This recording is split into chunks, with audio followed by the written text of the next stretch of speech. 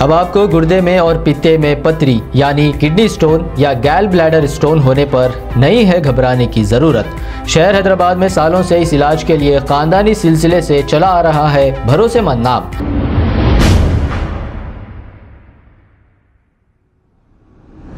वालेकुम नाजरीन, मैं हूँ Mohammad Abdul Hakeem, seven H news में आपका इस्तकबाल है। चादरघाट पुलिस स्टेशन हदूद की रहने वाली 22 साल तबस्सुम बेगम 25 दिन से लापता है। तबस्सुम की माँ ने बताया कि तबस्सुम ने अपने शोहर अजमत से किसी बात पर झगड़े के बाद घर से अपनी चार साल बेटी नेहा को लेकर चली गई।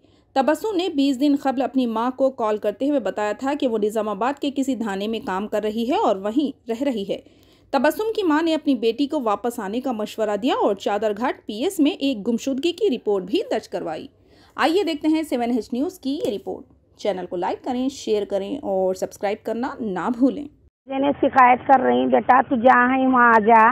और लोग कुछ भी कुछ भी बोल रही हम खाना पानी छोड़ दिए।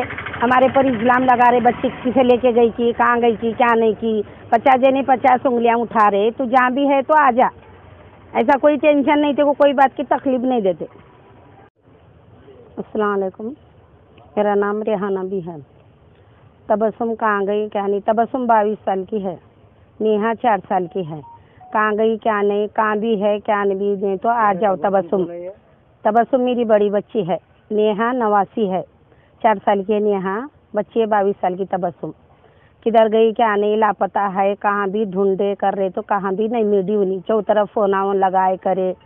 तो हमारे रिश्तेदार में भाइयों में भाई बहनों में किधर भी देख रहे। उन्होंने नहीं मिले तबस्सुम कितना टाइम हुआ जाके अब जाके हफ़्ता है तो पूरा एक महीना होता।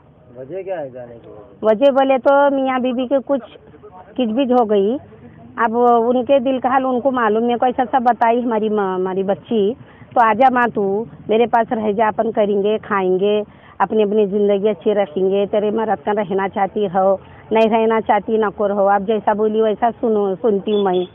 अपन करेंगे खाएँगे बोले तो हमारी बच्ची नहीं सुनी। अम्मी तुम तुम्हारे पास रहेंगे तो फिर मेरे को फिर उनके पास ही प्यार मोहब्बत से लेके चले जाते वहाँ पे छोड़ देते। मैं मेरे शोहर का नहीं रहना चाहती मैं मेरी ज़िंदगी। आपके दामाद शराब वगैरह पी के मारते करते क्या? हमारे दामाद वैसे नहीं थे थोड़े दिन से जरा फालतू जोड़ी लगी तो करते ना जी भाई ऐसा। तो ज़रा ऐसा पी लेके खा लेके क्या क्या बोले क्या क्या नहीं। तो सुबह ग्यारह बजे। हाँ? हाय बच्चे की फ़ोटो। छोटी। ऐसा बताइए।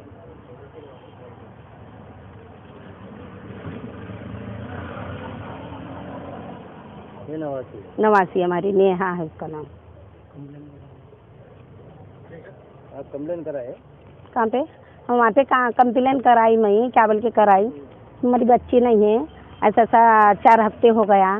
कि किधर गई क्या नहीं की लापता है मियाँ बीबी के बहसा हो गए। तो हमारी बच्ची नहीं है किधर गई क्या नहीं की लापता है साहब बोल के बोले तो। ऐसा कैसा जाते क्या करते क्या नहीं बोल को ऐसा बोले। मेरे को।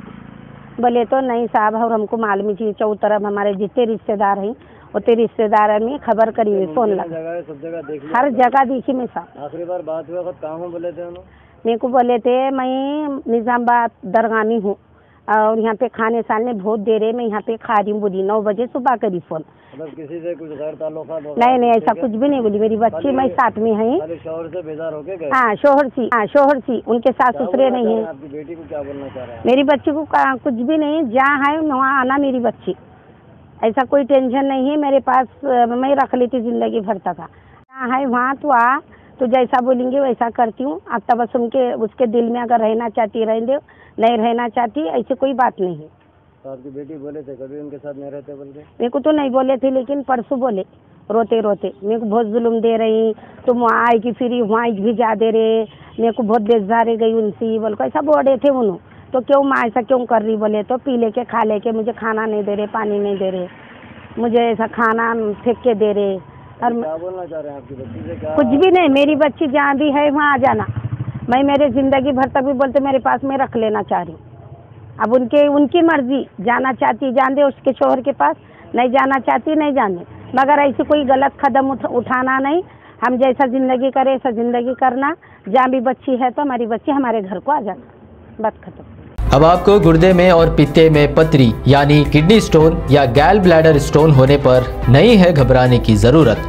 शहर हैदराबाद में सालों से इस इलाज के लिए खानदानी सिलसिले से चला आ रहा है भरोसेमंद नाम, आर एस यूनानी फार्मेसी, जहाँ पर खास तौर पर पित्ते में मौजूद पतरी और दोबारा पतरी ना होने का किया जाता है मुकम्मल इलाज। आपको इस दर्द से हमेशा के लिए मिल जाएगा छुटकारा।